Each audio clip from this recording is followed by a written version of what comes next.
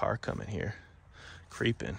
There's kind of like a sketchy truck. There's at least two guys in there. If you can see their brake lights here, they keep like stopping and going super slow. There's another car there being kind of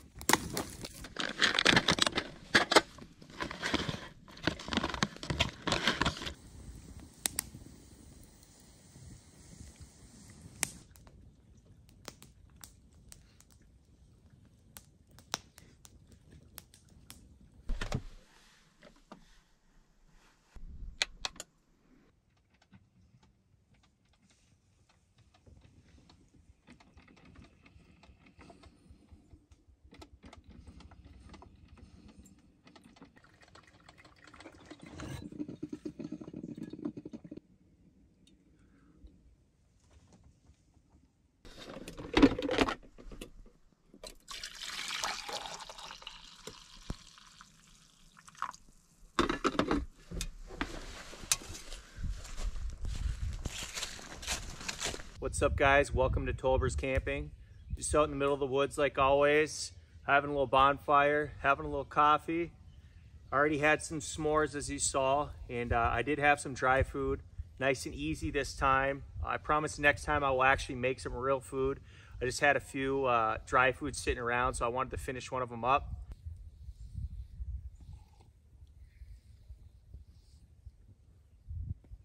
I had to reposition there. The smoke was coming like directly at me. Around 50 degrees Fahrenheit out here right now. So uh, feels very comfortable for me. I got like a little sweater on. I actually forgot my coffee cup. So we kind of had to use the same thing we cooked in, but I mean, I guess the coffee's the same. It's just not as comfortable in the hands and doesn't look as cool. A lot of the wood out here is actually pretty wet. So, I mean, I didn't really try to do a fancy job of making like a TP and having a big tall fire.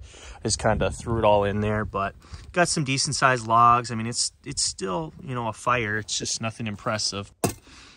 As you guys can see, I actually brought a real coffee maker for fun this time because uh, shout out to Pecron. They sent me this power station. This one's actually a thousand watt power station. So it's able to handle a coffee machine. The coffee machine's actually on. Um, it was taking almost 800 watts of energy when it was actually making it, but now it's just kind of maintaining the heat you can see it's taking up 22 watts, 21 watts.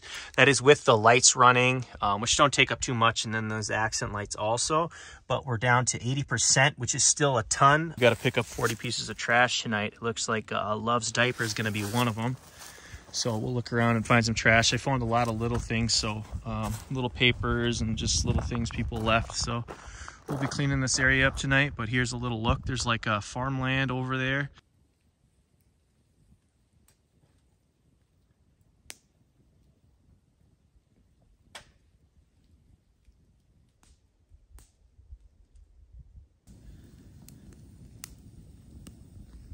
Shout out to Pecron for sending me this E1000 power station. They sent it to me basically for free. I just need to talk about it in this video a little bit. So if you guys would hang in there with me, let me just go over a brief description and why I actually like this thing. So this thing is 1028 watt hours, which is basically over twice what my Bluetti that I normally have in my van is. If you guys saw one of my previous videos, I actually tried to run a Keurig off that thing and it shut down instantly. I have a clip of me trying this at my house with my Keurig, which would pulled over 1300 watts and this actually handled it. So that was very impressive impressive. And there's actually really good review online of this versus Jackery 1000. And this basically beats it in like 9 out of 10 different settings. This is like a 300 to $400 cheaper than the Jackery 1000. This thing charges a lot faster than the Jackery 1000. I think it takes less than five hours from zero to full from a wall outlet and the solar panels on this also charge a lot faster than Jackery. When I plugged this into my wall, it actually was charging at about 230 and went up to almost 250 watts once it get closer to being full. I think the Jackery charges about 160, so as you can see, obviously this is gonna charge a lot quicker. This has 1028 watt hours, whereas the Jackery has 1002 watt hours. The LCD screen on this is a lot cooler. It actually shows you like how much is going in, how much is coming out. It gives you an estimate of like how long it'll take to charge or how long it'll take to run out at a whatever watts you're using. It has these little caps on it. This is where you plug it in to your walls or your solar panels or to your car charger. And this one is where you want to have your DCs out. It has like four different extensions on it. One's for like your car plugins, and then it has like a male and female ends. Then you got two USB plugins on the front, and it's got this little switch on the back. It's got four AC outlets. Two are just regular, and then it's got two of the grounding ones. It's got a nice handle on it. it feels very solid. It's just a big box, a lot of power in it. I do like that the plugs actually have like a little place where you can screw them in on it. So like you can't accidentally slightly pull it out and then stuff stop powering without you knowing it. You get a one year warranty with this power station. And then if you like sign within 30 days, like you register, then it'll get an extra year. So you like two year warranty. This is what you use to plug in your solar panels. And I guess what's nice about this is you can plug in your basic solar panels to this, whereas like the Jackery 1000, they make it so you have to get their uh, solar panels. So if you have regular solar panels already at home, you can actually use it with this thing. This is like so you can plug into your car if you want to charge it while you're driving your vehicle. Then they give you four of these like little safety plugins. I don't know if you have kids or something, you worry about them, or if you want to keep it maybe dry or get not get dirt in there. And it also comes with like two little fuses. I mean, it's a nice little bag, you know, it holds what you need in there. Got a little car coming here, creeping. Guys, there's kind of like a sketchy truck. There's at least two guys in there. If you can see their brake lights here, they keep like stopping and going super slow. I don't know if they're just trying to check me out and see what I got going on. Obviously, I carried that like nice power station and stuff back in here. So I didn't show myself like uh, packing back up. But I'm by myself and I do not have, you know what, to shoot. So, uh, I got some bear mace and like a knife and stuff. I don't know if I'm going to hang out here or if I'm going to go to a different spot tonight. I mean, I got my setup basically ready to go. I just, uh, everything's back in the van. The fire's basically burnt out. So if I have to roll out of here, I just don't want them to be scoping me out and then tonight try to come in here and uh, maybe mess with the van or try to, you know, rob me of what I got in here. So I'm just finishing up my coffee right now. I got the lights off in here just because I don't want them to be able to see in here very well, just in case they are being uh, weirdos and trying to see what I got going on. They may be cool. Maybe they're just dealing with some uh, vehicle issues, but you never know, man. When you're out in the middle of the woods by yourself, people do weird stuff, dude. So I'm kind of laying low right now. The fire is basically almost out. I'm not going to put any more logs on that thing. Just going to relax, have the rest of my coffee here, and then we'll turn the lights on.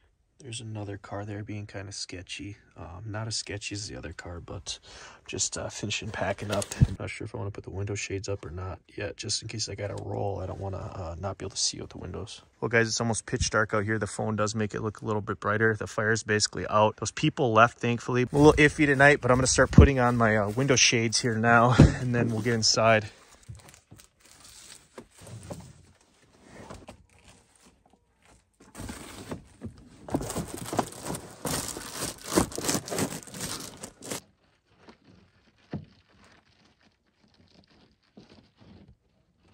Well, guys, I am in the safe van. Uh, I have all the window shades up.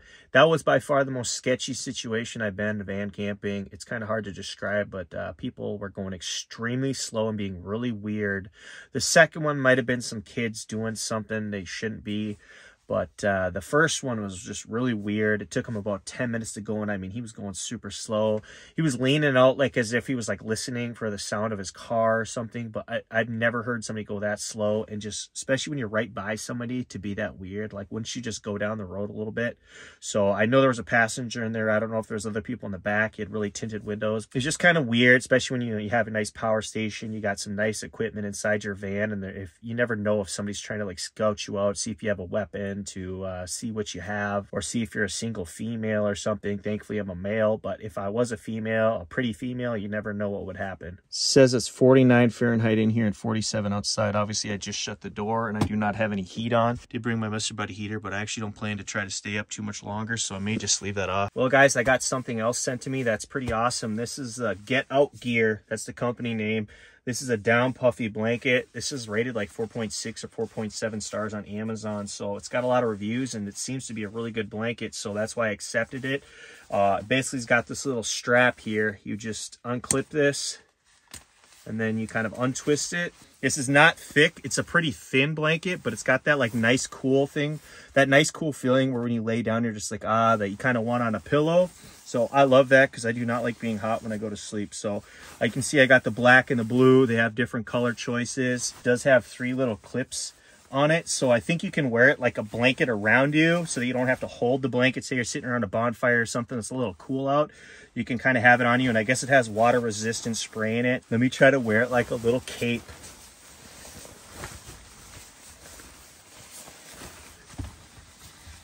There we go, guys. I probably look super weird my little uh, blank, but this is actually nice, especially if it's like slightly sprinkling and it's going to keep you dry, I guess, and then keep you warm enough. It's not going to keep you hot or anything like that, but if it's, you know, a nice little October night, you just want to throw a little comfy blanket around you, I think this is pretty nice. So obviously you can unclip it. It's got those three clips. This is not a sleeping bag like I normally have, which keeps your top and bottom warm. This is just for on top of you. It's just a blanket on top. So that's why I brought my wife's blanket to keep me warm underneath because I'm not going to be running that heat or anything tonight. It's actually supposed to get pretty chilly. So I'll let you guys know if this keeps me warm. I'll have a link in the description if you guys want to check this blanket out on Amazon, read the reviews, see if it seems like something that's uh, useful for you. And then I'll have a link in the description for that Pecron power station also. So shout out to Pecron and Get Out Gear. I appreciate the free product. Ooh, she looks comfy, guys. I'm excited. The only thing bad about my setup is because the way I parked, I'm kind of on a slant. So hopefully I'm not like sliding down my cot all night. Normally you want to park very flat if you can. At least keep your, high, your head a little bit higher. But um, worst case scenario, I learned my lesson and I start sliding down all night and I'll make sure not to do it again. And I've showed you guys before, but I have those extension legs on my cot, which is really nice because then I can put everything under here. It says it's 47 out, 53 in here. The van is saying it's 47. Let's take a look outside, see if there's anything sketchy out there. This is the spot I was at once and I saw eyes through that field. Obviously there's not a big field right here, but you never know, dude. I got my coffee ready for the morning. Poured some water in there. So all I got to do is just press start on this thing. We're going to have some coffee. Obviously, I don't always want to use a coffee machine, but sometimes you got to switch it up. Just having some ice cold water with my Tolbers camping cup you've probably seen before. And uh, just trying to flush some caffeine out of me so I can wind down here and hopefully get to bed at a reasonable time. I'm actually excited to try out this blanket, my comfy pillow, a little bit of slant, but hopefully I don't slide down too much tonight. By far the sketchiest experience I've had, but like I said, it's going to motivate me to get my license to carry just to be prepared.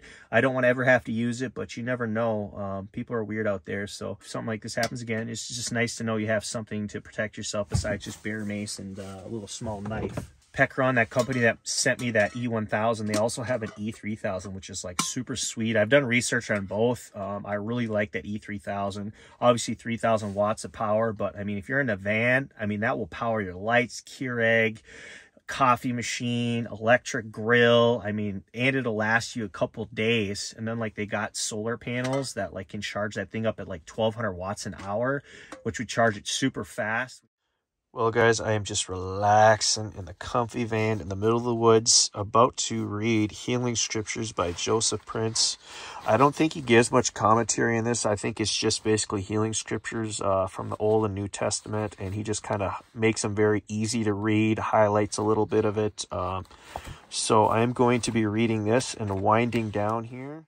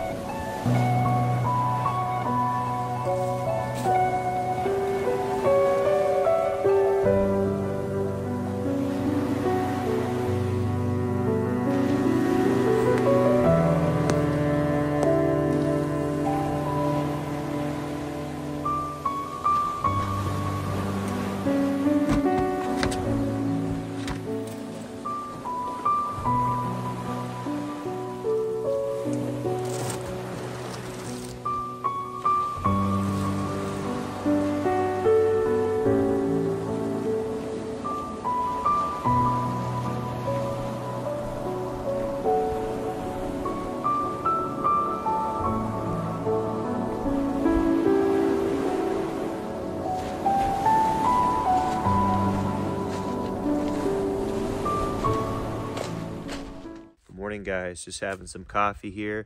It's really chilly out right now. Uh, I think it's like in the low 40s. So it got down to, I think, like 36 Fahrenheit, it said.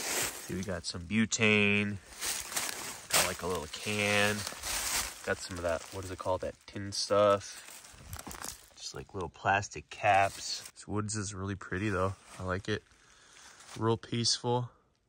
The sun's actually behind a cloud at the moment, but when that sun's coming out, especially when I first woke up, it was like coming through at an angle. It looked awesome in these woods. Here's those like fly swatter things people are using for their marshmallows. We got little pieces of paper like that and stuff. Can't forget the diaper. This bird was coming around me a lot yesterday. People must feed him. Like he's kept coming close to me and he's not being like weird like he's trying to protect his babies. He just looks like he likes to get fed, I guess. Hi, buddy. Hi, buddy. Watch, he won't fly super far. Like he keeps staying close. This beautiful sunny day. Got a big cloud. The sun's behind right now, but here's that cul-de-sac and dirt road I came down. Look at, there's another bird. It's staying close. Why do these birds stay so close? He's like, what's up, bro? I want some coffee. I'm like right on the edge of this like private land in the state forest. Nice little field. I stayed here once and I saw some eyes back in this location. I obviously didn't get out last night, but here's the van. So you'll see one of my videos where I'm actually parked here. Look at him. He wants to say what's up. Buddy. Friendly bird. Probably want food. Normally I try not to come out to these state forests during the weekend because that's when you get a lot of people and that's why last night was pretty sketchy. But it was a Saturday night. Now it's Sunday morning. So, you know, you still got people driving around, but thankfully nobody messed with me or the van. But I'll definitely be getting that uh, license to carry for protection. So by far the sketchiest uh, feeling and situation I've had so far, but got through it and now we're going to be more prepared in the future. Well, it's nice to have a fire pit at this location. I actually want to get one of those like pop-up fire pits. So it's like leave no trace type of thing. Sets up in like less than a minute. And you can basically have a fire anywhere without uh, having to dig a hole and make sure everything's far away from it so you don't burn it. I might get that before my next trip.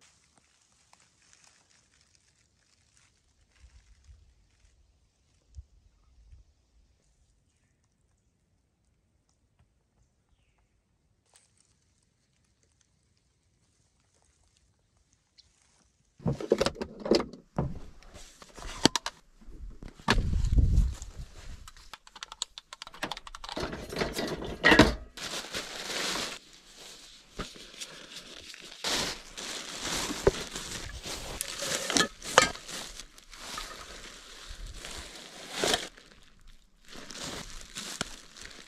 guys, we picked up 40 pieces of trash. Next stop will be 50 pieces of trash. Bag's starting to get a little bit bigger. I do have a little bit of stuff in here, but majority of that is actually from picking up. As always, there's a lot of cigarette butts. I picked up quite a few cans, like a baby diaper, um, just shotgun shell, a couple things like that. But eventually these things will start getting pretty full. At least I remember to bring my gloves this time. Got to throw these away. Well, guys, we're all packed up, about to head out of here. Very easy pack up. Picked up 40 pieces of trash, so we're leaving this place better than we found it. Be 50 next time, so I'm excited for that. Might have to start bringing those big black garbage bags eventually. Um, so we had a fire, had some fun, hung out with the birds, and uh, I'm about to head out of here. I'll see you guys in the next video. Peace.